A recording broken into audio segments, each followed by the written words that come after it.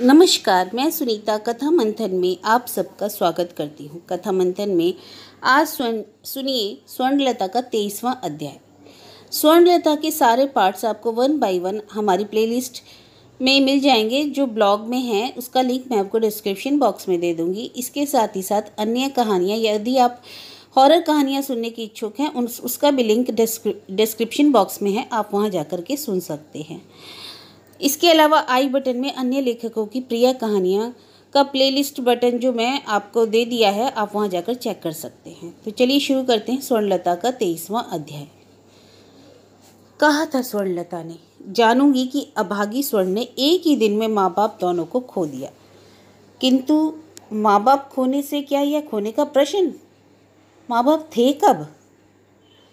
उनके रहने का प्रमाण उसने कब पाया? तो जो वस्तु थी ही नहीं, उसके खोने का सवाल ही कहाँ उठता है? फिर भी अबोध स्वर्णलता ने असंख्य नक्षत्रों से भरे आकाश की ओर स्तब्ध होकर ताकते हुए, एक नक्षत्र की खोज करते हुए उसी कही हुई बात को मन ही मन दोहराया। मैंने एक ही दिन में माँ बाप दोनों को खोया। कोई नया नक्षत्र क्या यह सुन पाएगा? सुनकर हंस नहीं उठेगा? कहेगा कि जो था ही नहीं उसी के खोने का दुख कर रही है तू? छी। किंतु स्वर्णलता, शायद हो कि वह बात वह सुन ही नहीं पाएगी, इसलिए वह उस आसमान से आँखों को हटा ही नहीं पा रही है। इस पर, इस घर में आकाश है, स्वर्णलता के गुलाबी रंग के इस मकान में, क्योंकि इस घर में छत पर जाने की सीढ़ी भी है, और दक्षिण की ओर बरामदा है, जिस बरामदे में हवा का अनंत दक्षिण्य है। जिस छत पर अंतहीन अंधकार की निविड़ प्रगाढ़ प्रशांति है, छत पर ही तो मुक्ति है। यहाँ ऊपर स्थिर पड़ा असंख्य नक्षत्रों की माला पहने हुए आकाश तो स्वर्णलता को अपने को धन्यवाद नहीं देना चाहिए। ना दे, धन्यवाद। तो स्वर्णलता अकृतज्ञ है, परंतु स्वर्ण अकृतज्ञ नहीं है। वह जब इस अंतहीन अंधकार में आकर खड़ी हो जाती है तो एक गहरे निश्वास की ओट से उसके हृदय का शांत धन्यवाद उमड़ आता है। यहाँ स्वर्णलता छत पर आ सकती है। और चूँकि आ सकती है, इसलिए दो क्षण के लिए भी कम से कम यह भूल सकती है कि स्वर्णलता नाम की नारी कर्म चंचल और शब्द मुखर एक स्थूल और छोटे से संसार की गृहिणी है। भूले रह सकती है, वह संसार अपनी स्थूलता और शुद्रता के लिए हर घड़ी स्वर्णलता को पुकारता है। उससे बचने का उसे उपाय नहीं, फिर भी शायद आज अब कोई नहीं पुकारेगा। आज शायद स्वर्णलता के बच्चे उसकी कुछ परवाह करेंगे। नहीं पुकारेगा, नहीं। इसलिए स्वर्णलता स्तब्ध बैठी मन में सोच सकती है कि उसकी माँ थी। राज, राजेश्वरी माँ। वह थी स्वर्ण की सारी चेतना, सारी व्याकुलता, सारे ही अनुभव में। मूर्ख स्वर्ण केवल एक मूड अभिमान से उस माँ की ओर से मुँह फेरे हुई थी। नहीं तो सभी और के सभी मान अभिमान को धूल में बिखेर कर क्या माँ के पास जाकर पछाड़ नहीं खाया जा सकता था। कहाँ नहीं जाया जा सकता था कि माँ, बड़ी, बड़ा जी हो रहा है तुम्हें देखने का इसलिए मैं चली आई? स्वर्ण ने ऐसा नहीं किया। उसने अपने अभिमान को ही बड़ा किया। उसने यह सोचा, कहा माँ ने एक बार भी तो नहीं बुलाया उसे? स्वर्ण ने सोचा, पति के आगे नहीं झुकूँगी मैं। इसलिए स्वर्ण ने की माँ नहीं थी। अब वह सब मान अभिमान को धूल में बिखेर भी दे तो कह नहीं पाएगी वह बात। माँ, तुम्हें एक बार देखने को मरी जा रही हूँ मैं। लेकिन अभिमान दूर हुआ। अभी भी तो स्वर्ण बाप पर एक दुरंत अभिमान किए बैठी है पत्थर सी। वह पत्थर यदि टूट पड़ता तो शायद कपाल पीट पीट कर चीख उठती। क्यों? क्यों तुम सब लोग मिलकर मुझे क्यों ठगोगे? मेरे साथ ऐसी निष्ठुरता क्यों करोगे? स्वर्णलता की माँ की चिट्ठी। तुम लोगों ने चुपचाप अगर स्वर्णलता को भेज दी होती तो क्या नुकसान होता तुम्हारा? यदि कहते, अरे ओ स्वर्ण, तेरी माँ के ने मरने से पहले यह पत्र देने को मना किया है, परंतु मुझसे इतना निर्दयी नहीं हुआ गया। मैं दिए जा रहा हूँ तुझे, अब तू सोच ले, इसे खोलेगी कि नहीं? स्वर्ण सोचती, किंतु स्वर्ण के पिता ने वैसा नहीं किया। और उसकी माँ चूँकि चिट्ठी का जवाब नहीं चाहती थी, इसलिए कह गई, मेरे मरने के बाद स्वर्ण को देना।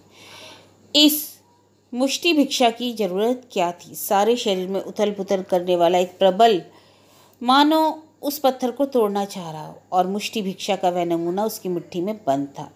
लिफाफा बंद था। स्वर्णलता उसे खोलेगी नहीं। नहीं देखेगी कि उसमें क्या लिखा है। उसकी निर्दयी माँ की निर्दयता का यह नमूना। स्वर्ण का इतना बड़ा जीवन जब माँ छोड़कर ही कट गया तो बाकी भी कट जाएगा। वह सोचे, जो वस्तु थी नहीं, उसका खोना क्या? स्वर्णलता की माँ नहीं। नहीं थी माँ। सच ही क्या नहीं थी? कभी नहीं। स्वर्णलता के जीवन के नौ साल नहीं हो जाएँगे। उसके नौ साल के जीवन के पूरे आकाश में एक अनिर्वाण ज्योति नहीं है। उस ज्योति के परिमंडल में वह किसका मुखड़ा है? अपनी माँ का मुखड़ा? क्या भूल गई है वह? उसके जीवन काश की वह ज्योति सदा के लिए पूछ बैठी। पूछ ही गई है, अगर तो स्वर्णलता किस जोत में फ्रॉक पहने उस छोटी सी लड़की को देख रही है? जो लड़की स्कूल से लौटते ही कॉपी किताब रखकर दोनों हाथ बढ़ाए, झटपट माँ के पास दौड़ी गई। माँ माँ माँ माँ अवश्य हा हा कर उठी। मत छूना स्कूल के कपड़े हैं, लेकिन माँ की आँखों के कोने के में प्रश्रय, होठ के कोने में हँसी। फिर भला कोई उसके झूठे निषेध की सजी सजाई बोली सुने बिना लिपटे माने भला। परंतु उस अंधकार में दृष्टि वैसी नहीं चलती, केवल शब्द तरंगे पछाड़ खाती। अंधकार, असीम अंधकार अंधकार के उस समुद्र में डूबकर स्वर्ण संभवतः उस बच्ची से एकाकार हो जाने लगी। उसकी तरंग तरंग में वह जाने लगी स्वर्ण, शब्द शब्द। स्मृति की डिबिया में शायद परत परत भरे थे। आज का धक्का खाकर वे उभरने लगे, बिखरने लगे, नए सिर में से गूंजने लगे। जो पहला शब्द भोर भोर से उस छोटी सी बच्ची की नींद की खुमारी को चौंक कर धक्का दे जाता था, वह था हड्डी पसली, झाँक रहे घोड़े से खींची जाने वाली गाड़ी का शब्द। अविश्वसनीय, एक कतवार की ढेरी को ढिए दी, ढोए जा रही है वह गाड़ी और झनझनात की आवाज़ उठ रही है और उसी शब्द के साथ दूसरा एक शब्द स्वर्ण उठो अब, स्वर्ण अवश्य कहते ही उठने ही पड़ती। इस पर फिर मीठी सी एक डांट। किंतु उस डांट की आड़ में मानो प्रशय का एक माधुर्य स्वर्ण उठ सकती, उठ पड़ती है। उठते ही सुनती, रसोई में बर्तन बासन इधर उधर होने का शब्द, उस शब्द में माँ मिली हो मानो। दोपहर के सुनेपन में और एक शब्द उठता था, ठन ठन ठन। कड़ी धूप में बर्तन वाला जा रहा है। माथे पर बर्तनों का झोंका और हाथ में कांसा के साथ लकड़ी का एक टुकड़ा। उसी काट से कांसा बचता होता ठन ठन। वह शब्द। दोपहर की खामोशी में एक सिरहंसी जगा दे जाता। मन हु हु कर उठता। सलेट पेंसिल रखकर माँ से सटकर बैठने की इच्छा होती। माँ कहती, क्या हो गया? लिखते लिखते उठाई? वह लड़की माँ से सटी बैठी रह कहती, यूँ ही। माँ बच्ची के घुंघराले बालों को कपाल पर से हटाते हुए स्नेह सने स्वर से कहती यूँ ही माने, यूँ ही कुछ होता है क्या? माँ के बदन से अपना गाल घिसती हुई बच्ची कहती, होता है होता है, यही तो हुआ। और उस समय यदि दोपहर की निर्जनता को भंग करते हुए हाँक उठती, बेर, मीठे बेर, सुगिया बेर, चीन का सिंदूर, आदि, इत्यादि आवाज़ें तो उस बच्ची में के कुछ आता जाता ना था छाती धड़धड़ नहीं कर उठती, बदन छमछम नहीं कर उठता। उस मीठी गंध वाली शरीर में मानो भय को जय करने की दवा मौजूद हो। काहे की वह मीठी गंध? साड़ी की, मात्र हृदय की किसकी शब्द उठता? बेलबारी चूड़ी चाहिए, कांच के खिलौने, साबुन, तरल, आलता, आवाज़ आती, पंखा, बर्फ़ पंखा, बर्फ़, फिर तो डर कहाँ, उमंग। उमंग, आग्रह, उत्साह। सुनते ही वह लड़की दौड़ कर खिड़की के पास जाती और फिर वहाँ से खिसक आकर कहती, अम्मा एमा माँ हंसती कहती, हूँ, बड़ा तो लाड़ देख रही हूँ, क्या चाहिए सुनो? कांच का खिलौना खिलौना का क्या होगा, इतना तो है। बच्ची भीरू गले से कहती, वाह रे, मेरे पास नन्ना खिलौना है, सो नन्ना खिलौना। अथवा बर्फ़, पंखा बर्फ़ तो माँ कहती, दूर, वह बर्फ़ बड़े वाहियात ढंग से बनती है, वह भी कोई खाता है? नहीं खाता है तो बेचता क्यों है? पहनावे में फ्रॉक छोटी होते हुए भी बच्ची तर्क में छोटी नहीं थी। कहती, नहीं खाता है तो बेचता क्यों है? माँ पैसा निकालती, कहती, अरे बेचते तो सांप का जहर भी है तो क्या वही खाएगी? कहती, और पैसा देती। कहती, बस आज दे दिया, फिर नहीं। वही तो वही सही। नगद जो मिले, हाथ पसार कर ले लो। बाकी के खाते में शून्य रहे और एक दिन की बात फिर सोची जाएगी। किसी किसी दिन माँ डांटती खा, पढ़ना छोड़ छोड़ कर चली जाती है। पढ़ने में मन नहीं लगता। वह कह दे सकती थी, भरी दुपारी में ऐसी आवाज़ें सुनने से मुझे डर लगता है। कहने से बहुत कुछ सहज हो जाता। पर वह लड़की तो सब नहीं कहती। चुपचाप खड़ी रह जाती है। माँ कहती है, जा लिखना लिख ले। बच्ची धीरे धीरे चली जाती है। और पल छीन गिनती रहती है कब रात होगी। रात को तो माँ हटाती हुई कह नहीं पाएगी, जा पड़ जाकर। रात में माँ की छाती से सटकर लेटी लेटी बदन पर हाथ रखकर एक परम सुखमय आवेश के मिनटों में सो जाना। उस छोटी सी बच्ची के साथ स्वर्णलता घूमती फिरने लगी। माँ के पास बैठकर बाल बंधवाती, खाती पाठ कंठ करती, किताब पत्तर लेकर स्कूल जाती, दुर्गा पूजा की मूर्ति देखने जाती। जहाँ जाती, मानो भीड़ से घिरी जगत जननी की मूर्ति के किनारे उसका नाम तिर तिर आता। रानी रासमणी का घर, शोभा बाज़ार का राजमहल, श्याम बाज़ार के मित्र का घर। कहीं खट घोड़वे पर चढ़ जाती, कहीं स्वांग देखाती उसके बाद थके हुए दुखते पाँव पर लौट कर कहती, माँ, कितनी मूर्तियाँ देखी, जानती हो? पाँच। माँ मुस्कुराकर कहती, देवी की मूर्ति तो देखी, प्रणाम किया। अरे प्रणाम नहीं करूँगी, मैं क्या पागल हूँ? कपाल की बिखरी लटों को संभाल देती हुई माँ कहती, प्रणाम किया। क्या वरदान मांगा? वरदान? इस चाह मांगा तो कुछ नहीं। माँ हंस देती, नहीं मांगा? खैर, ठीक ही किया। नहीं मांगना ही अच्छा है। लेकिन इतना मांगना चाहिए, माँ दुर्गे, मुझे विद्या दो। विद्या विद्या। उठते बैठते माँ यही कहा करती विद्या ही असल है समझी? स्त्रियों को विद्या साध्य नहीं, इसलिए उनकी इतनी दुर्दशा है, इसलिए सब उनकी हेटी करते हैं। पर जिन स्त्रियों ने विद्या प्राप्त की है, विदुषी हैं, उन्हें कितना गौरव, कितना सम्मान है। उनका वही सम्मान, वही गौरव तेरा भी होगा। स्वर्णलता के सर्वांग में एक प्रबल आंदोलन उठा। छत पर लेटकर, फर्श पर मुँह रगड़कर बोली, किंतु अंत तक बचा नहीं सकी माँ। तुम्हारे दिए मंत्र के दाह में तुम्हारी स्वर्ण का सारा जीवन जर्जित होता रहा। बहते, आँसू बहाते बहाते दुस्सह यंत्रणा बुझ गई। स्वर्णलता फिर अभी वही देखने लगी। शब्द तरंगों पर कहते कहते दृश्य के घाट पर आकर टकराई और उसने देखा, स्वर्णलता की माँ रसोई घर में बैठी रसोई कर रही है। माँ छत पर जाकर कपड़ा सूखने दे रही है। माँ फर्श झाड़कर बिस्तर बिछा रही है। माटी पर आईना रखकर माँ जुड़ा बाँध रही है। गोरे चिट्टे मुँह को घेरे काले रेशम जैसे बालों की राशि। कपाल पर घिस गए सिंदूर के टीके का आभास। परान जुड़ाने वाला, कलेजा जुड़ाने वाला, आँखें जुड़ाने वाला। आश्चर्य। इतनी बड़ी माँ थी उसकी। और स्वर्ण मामूली सी मान के लिए अपने को प्राचीर से घेरे बैठी थी। अच्छा ही हुआ। स्वर्ण, तुझे उपयुक्त ही दंड मिला। माँ एक चिट्ठी लिख कर दे गई। वह भी कह रखा कि मैं मर जाऊँ तब उसे देना। इसके सिवाय और क्या होगा तेरा? मान और आत्मग्लानी दोनों ही झूझते हुए अपनी जड़ गाड़ना चाहने लगे और अंत में आत्मग्लानी की ही जीत हुई। माँ, मेरी माँ मैं इस निर्णायक आदमी के पाँव पड़कर निहुरा करके ही तुम्हें एक बार देखने क्यों नहीं गई? अब तो जीवन के सारे ही गीत स्तब्ध हो गए। सब प्रकाश बुझ गया। मैं जान नहीं सकी कि मेरे जीवन की आड़ में तुम गीत होकर, उजाला होकर थी। मेरा एक विराट ऐश्वर्य मानो अपने लोहे के संदूक में बंद था। लगता जब चाहूँगी उसे खोलूँगी, खोलते ही देख पाऊँगी। समझ नहीं सकी। हठात एक दिन देखूँगी संदूक खाली हो गया। मैं केवल दूसरों का ही दोष देखती हूँ। और पत्थर होती रही। अपना दोष तो दिखा ही नहीं। माँ तो माना कि दूर थी। बाप तो था। बाप को अपराधी बनाकर त्याग दिया था मैंने। आज भी त्याग आई और उस जीते जी आदमी के मुँह पर कह आई, समझूँगी मेरे माँ बाप दोनों को खो दिया। मैं हूँ क्या हूँ? मैं क्या हूँ?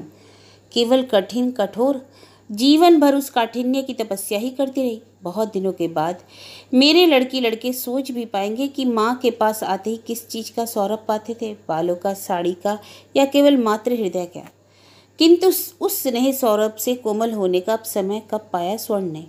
उसे तो अविराम युद्ध करते हुए ही चलना पड़ा था। वह यदि कोमल होती तो मुक्त केशी की दुनिया से कभी छुटकारा मिलता, नहीं मिलता। मुक्त केशी का बेटा उसे ग्रास कर छोड़ता, उसकी इच्छा पर उठना, बैठना पड़ता, उसकी कड़ी नज़र से सिटपिटा जाना पड़ता और उसकी लुब्ध इच्छा की दासीगिरी करते करते आत्मा को बिक जाने की नौबत आती। किंतु वह आत्मा आज भी है क्या? बिकने नहीं दूँगी। इस आन पर लड़ते लड़ते ध्वंस नहीं हो गई। उस ध्वंस हुई आत्मा को फिर से गढ़कर खड़ा नहीं किया जा सकता, चेष्टा से, जतन से, साधना से नहीं। यह नहीं होने का स्वर्ण बोल उठी। असुर से लड़ने के लिए देवी को भी चामुंडा बनना पड़ता है। वीणा वादनी सरस्वती कौड़ी की पिटारी वाली लक्ष्मी के वश भी नहीं वह भूमिका निभाना।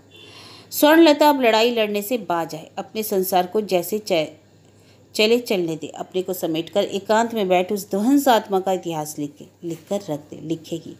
मात्र एक स्वर्णलता ही नहीं, ऐसी हज़ारों हज़ार, लाखों लाख स्वर्णलता, ऐसे ही दिन दिन तिल तिल करके ध्वंस हो रही हैं। कोई लड़ते लड़ते चुरचुर हो रहा है तो कोई भीरुता से, घर की शांति की आशा से, अपनी सत्ता लुटाकर पुरुष समाज की इच्छा का खिलौना बनकर बैठ गई। मैं पहले उनकी अवज्ञा करती थी। स्वर्णलता ने सोचा, जिससे उसने संघर्ष की राह नहीं अपनाई। बिना बिचारे अधीनता कबूल कर ली। अब मैं उनकी अवज्ञा नहीं करती, समझती हूँ। उनमें लड़ने की शक्ति नहीं, इसलिए लाचार होकर उन्होंने यह पथ चुन लिया। उनमें अनुभूति नहीं है, वह उसी में खुश है। हमारा ऐसा सोचना मूल है। सत्ता के बदले उन्होंने शांति खरीदी, आत्मा के बदले आश्रय, क्योंकि इसके सिवाय उन्हें दूसरा उपाय नहीं। समाज उनका सहायक नहीं, अभिभावक उनके अनुकूल नहीं, प्रकृति तक उनकी विरोधी, अंधकार के जीव है लिफाफे में बंद चिट्ठी को एक बार हाथ में अनुभव किया। काश इस निसीम अंधकार में बैठकर पड़ी जाती। दिन के उजाले या दिए की रोशनी में ऐसी थोड़ी सी निसिमता पाती निर्जनता की, तब शायद बंद दरवाजे को खोल देती। विहल दृष्टि फैलाकर देखती कि उसकी माँ ने कौन सी बात उसे लिख दी। लेकिन वह निर्जनता है कहाँ? चारों ओर तो ही तो निगाहें हैं। व्यंग, कौतुक, कौतूहल। की निगाहें जो सर्वदा तीखी हुई हैं। दुनिया में आँखें कितनी अधिक है, स्वर्णलता के अपने इस गुलाबी दोतल्ले में भी इतने अधिक लोग हो गए हैं, इतनी अधिक आँखें, किंतु इनके लिए असहिष्णु भी नहीं हुआ जा सकता, क्योंकि वे स्वर्णलता के हैं। इनका सारा दाय दायित्व ढूंढते हुए चलना है अंत तक। इनका ब्याह करना है, इन्हें दुनियादार बनाना है, बीमार हो तो जतन करना होगा, प्रसूति घर में जाएगी तो वह झमेला भी झेलना होगा और इनका मन मिजाज समझ बूझ कर बोलना होगा। इनकी अवहेलना नहीं की जा सकती, इन्हें टाला नहीं जा सकता, इन्हें तुच्छ नहीं किया जा सकता। वैसा करो तो ये तुरंत ही फोसू करके बदला वसूलेंगे। क्योंकि इन्हें स्वर्णलता ने ही सिखाया है कि सभी आदमी समान है। सिखाया है, मनुष्य मात्र को स्वाधीनता का अधिकार है। इस भिक्षा का यदि ये कुछ और अर्थ समझे तो वह निश्चय ही इनका दोष नहीं, दोष स्वर्णलता के सिखाने का है। अपने हाथ के तैयार किए हुए ड्रैगन के जबड़े से भागकर जाएगी कहाँ वह? स्वर्ण उपाय ढूँढने लगी। भागने की, यानी भागकर जान बचाने की चीर परिचित पद्धतियों पर अब रुचि नहीं है उसे। बार बार चेष्टा की। यमराज ने उसे वापस कर दिया। एक नहीं, एक बार नहीं बार बार आह! यूँ ही यदि लेटे रहा जा सकता। किसी तरफ़ भी ताकना नहीं। रात दिन केवल आकाश की ओर ताकते हुए, मृत्यु के बाद जैसे संसार में मुँह फेरते हुए लोग वैसे हों। आज इस एक भयंकर शून्यता की घड़ी में संसार अपना सारा मूल्य खोकर मानो एक मातृ पिंड सा पड़ा हो। स्वर्णलता इस मृत पिंड को छोड़ने का उपाय खोजने लगी। इस माटी के भोज का भार अब नहीं ढो सकती स्वर्ण।